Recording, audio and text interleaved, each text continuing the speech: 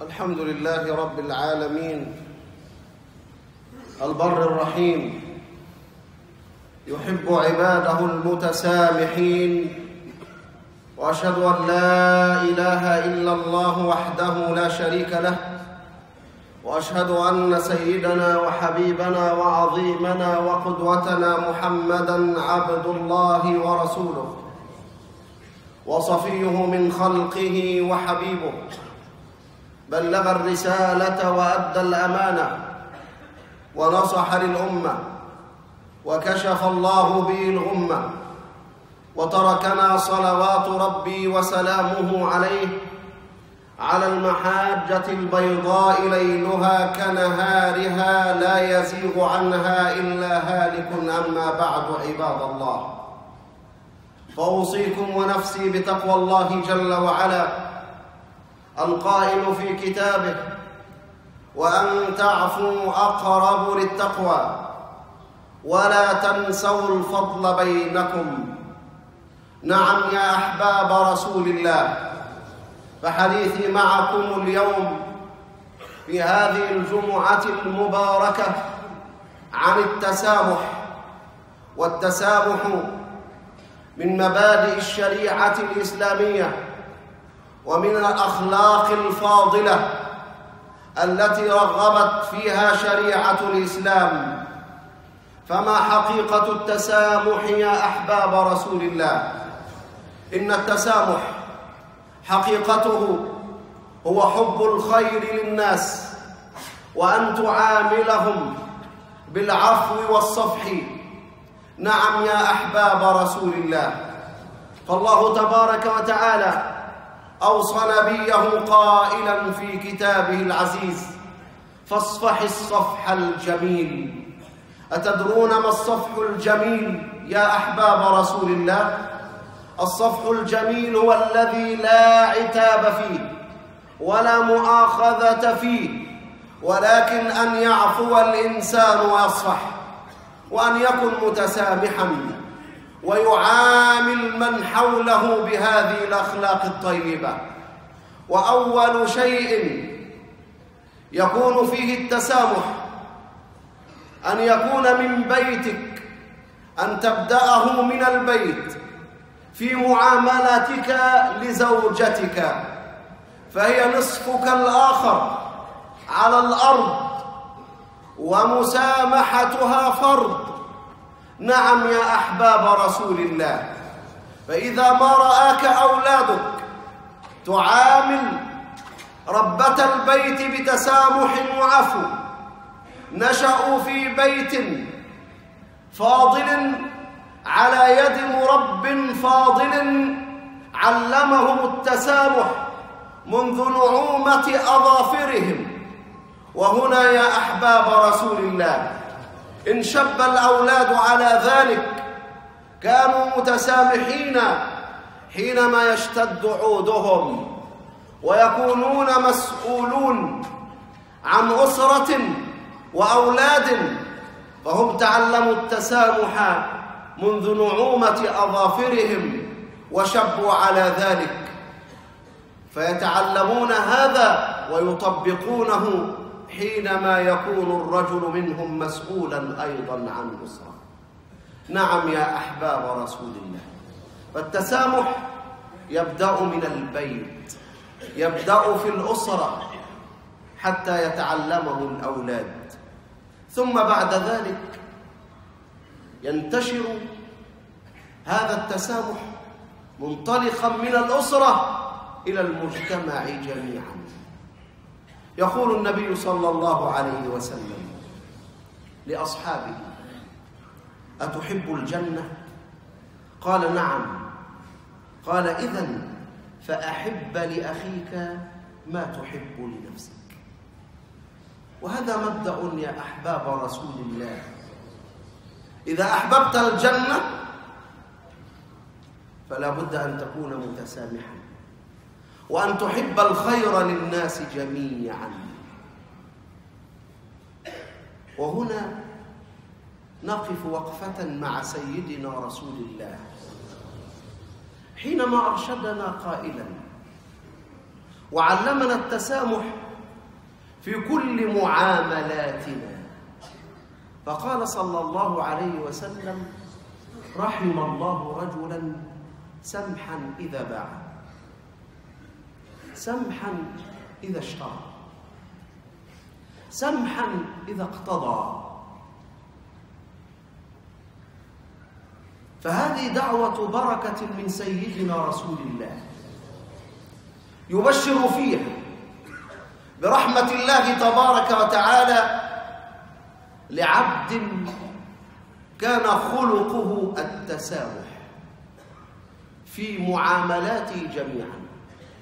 إذا باع سمحا وإذا اشترى سمحا وإذا اقتضى سمحا فكأنه يعيش في تسامح مستمر.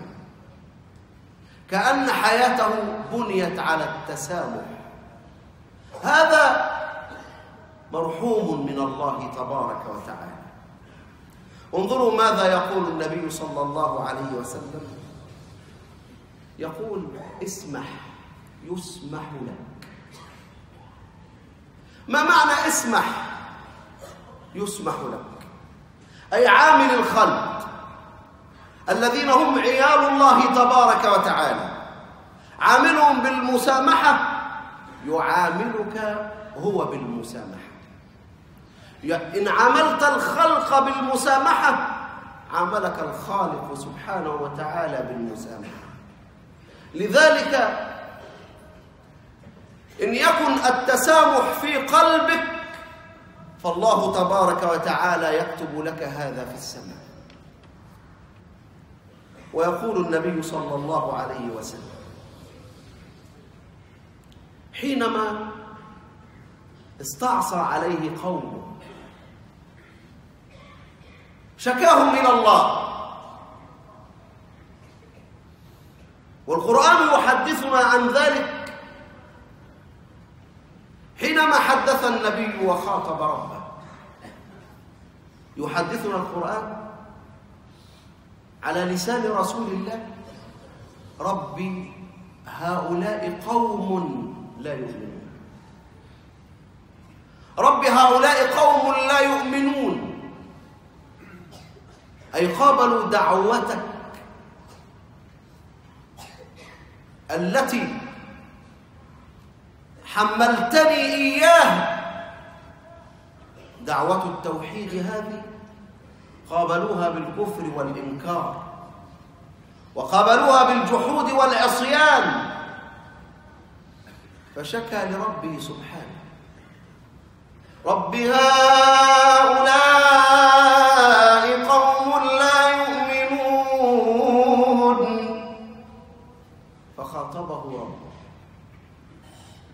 بقوله تعالى فاصفح عنهم وقل سلام.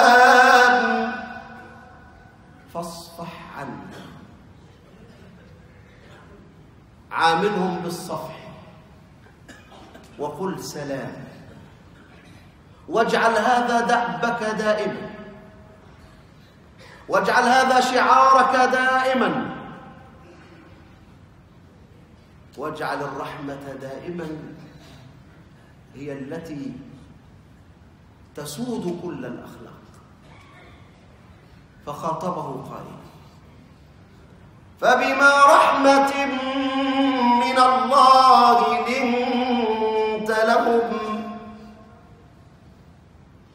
ولو كنت فظا غليظ القلب لانفضوا من حولك فاعف عنهم واستغفر لهم. فاعف عنهم واستغفر لهم. هذا خطاب القرآن لسيدنا رسول الله. إذا التسامح يا أحباب رسول الله. من الأخلاق التي أمرنا الله تبارك وتعالى بها. فأن تعامل الناس بالرفق. وباللين هذا مطلب شرعي. هذا مطلب شرعي يا أحباب رسول الله. كن هينا. كن لينا. عامل الناس بطيب الأخلاق. كن متسامحا معهم. واعف عنهم. يستريح قلبك. وتهدأ نفسك وتكن عند الله مقبولا. وتكن لشفاعة رسول الله صلى الله عليه وسلم. تكن في زمرة شفاعته يوم القيامة. يا أحباب رسول الله إن معاملتك للناس بالتسامح ما هو إلا تكريم لهم. والقرآن يقول ولقد كرمنا بني آدم فمعاملتك الناس بسماحة إنما هو امتثال لقوله تعالى ولقد كرمنا بني آدم لأن الخلق جميعا إنما خلقوا من أب واحد ومن أم واحدة لذلك علمنا الإسلام أن نتعامل حتى مع غير المسلمين بالسماحه وأن نعاملهم بالصفح لأنهم إخوة في الإنسانية. نعم يا أحباب رسول الله. إخوة في الإنسانية.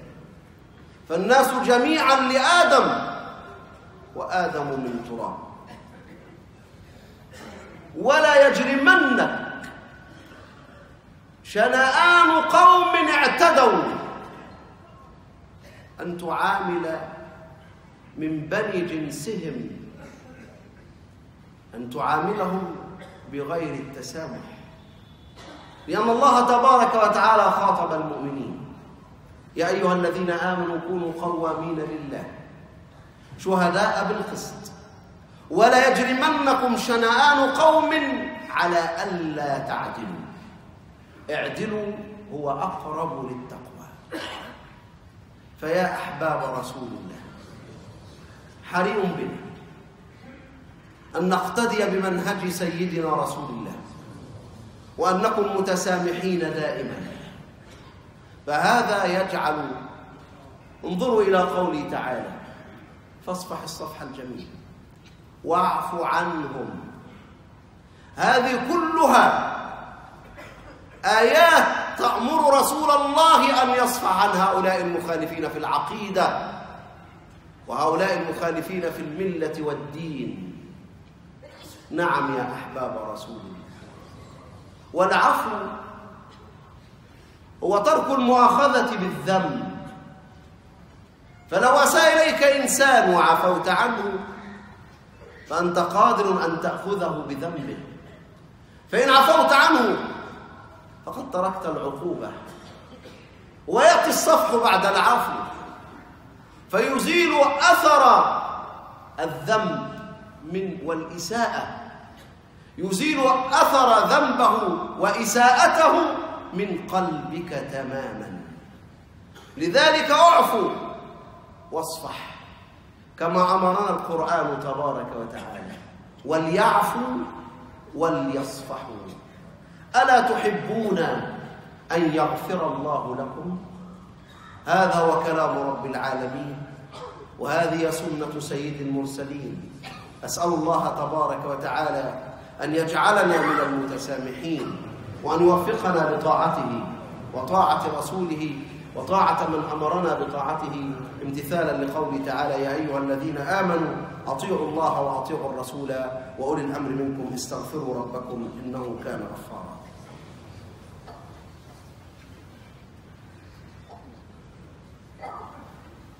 الحمد لله رب العالمين. الحمد لله وحده. والصلاة والسلام على من لا نبي بعده. حمدا لله. عز جلاله فلا تدركه الأفهام. سما كماله فلا تحيط به الأوهام. شهدت أفعاله أنه الحكيم العلام. الحمد لله وكفى وصلاة وسلاما على عباده الذين اصطفى. وأشهد أن لا إله إلا الله وحده لا شريك له. وأشهد أن سيدنا وحبيبنا وعظيمنا وقدوتنا محمدا عبد الله ورسوله أما بعد. إن التسامح قيمة عظيمة. تؤلف بين الناس. وتقرب أيضا بين الشعوب. فيتعارف ويتآلف. وهي والتسامح يحقق العلة من خلق الخلق جميعا.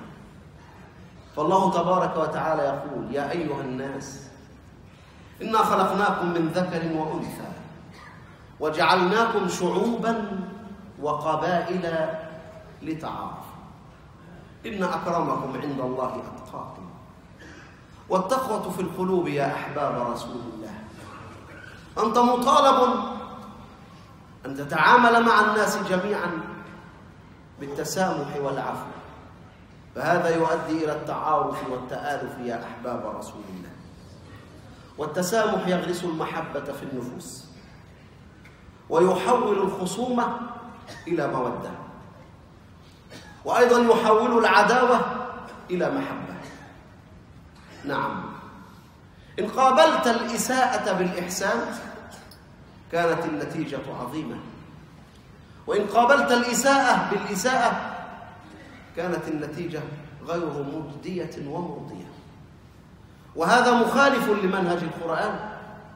فالقرآن يقول ولا تستوي الحسنة ولا السيئة. ادفع بالتي هي أحسن. فتكون النتيجة فإذا الذي بينك وبينه عداوة كأنه ولي كأنه ولي لك وصديق لك يدافع عنك إن قابلت إساءته بالإحسان. فهذه النفس البشرية يا أحباب رسول الله. وإن دولة الإمارات العربية المتحدة حاضن حاضنة لقيم التسامح والتعددية الثقافية. وأنشأت وزارة تسمى وزارة التسامح. هذا لتعزيز ثقافة التسامح بين الناس يا أحباب رسول الله. ليكن ذلك على مر الأجيال. فيتوارث الأجيال جيلا بعد جيل. أخلاق المتسامحين وأخلاق المتصافحين وأخلاق الذين يعفون عن الناس.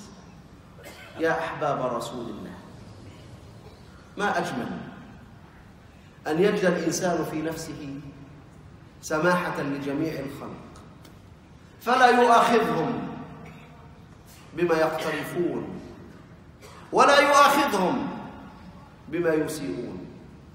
فالله تبارك وتعالى مطلع على خلقه جميعا.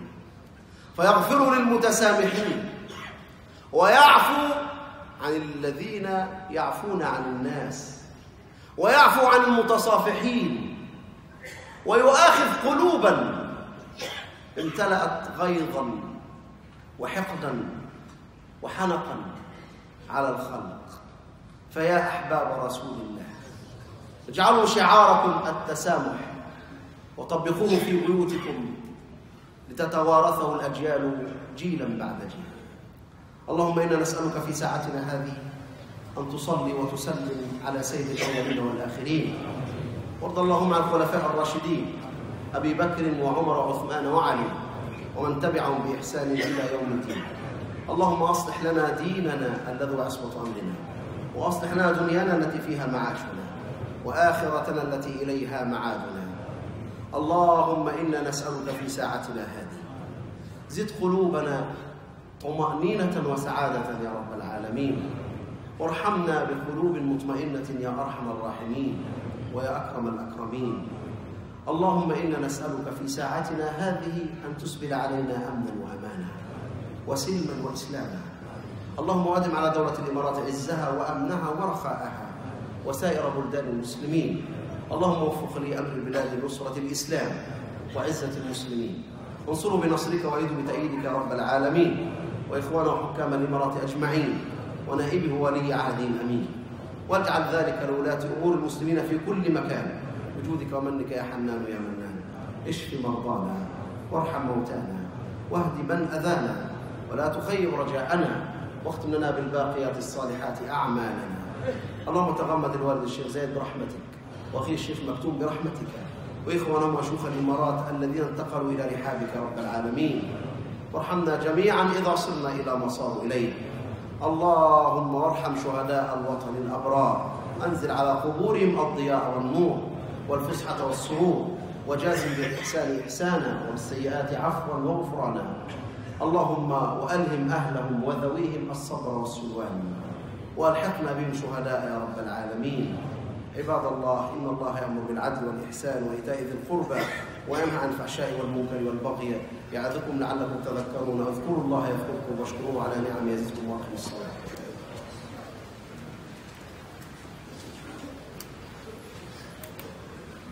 الله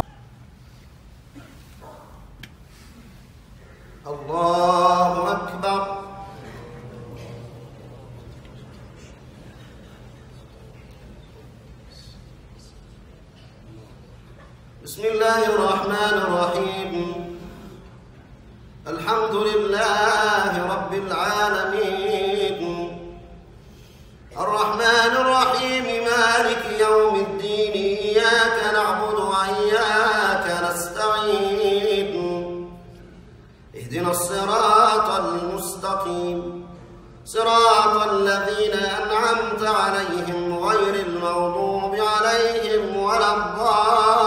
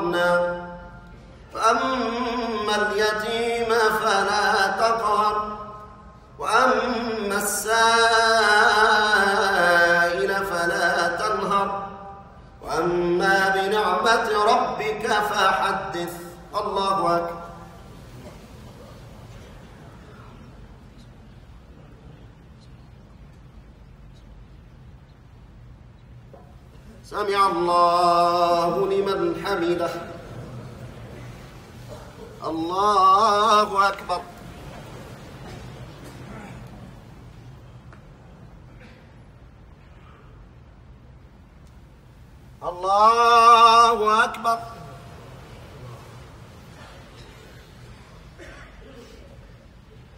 الله أكبر.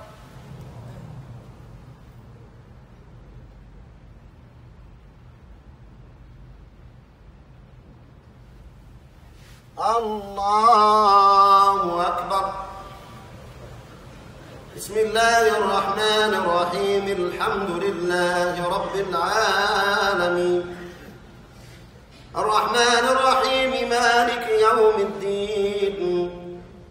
إياك نعبد وإياك نستعين. اهدنا الصراط المستقيم. صراط الذين أنعمت عليهم غير المغضوب عليهم ولا الضالين.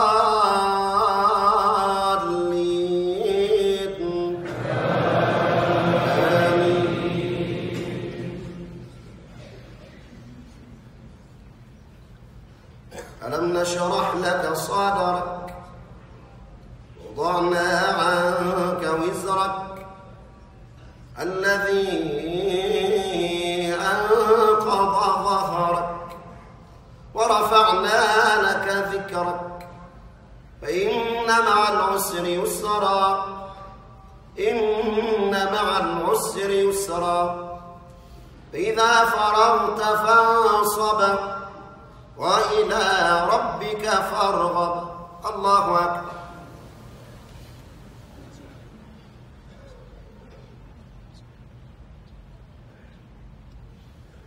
سمع الله لمن حمده. الله أكبر.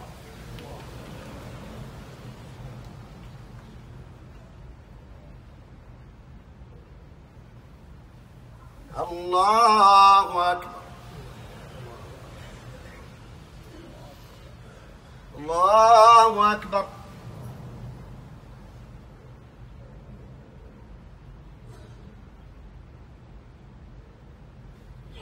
الله أكبر.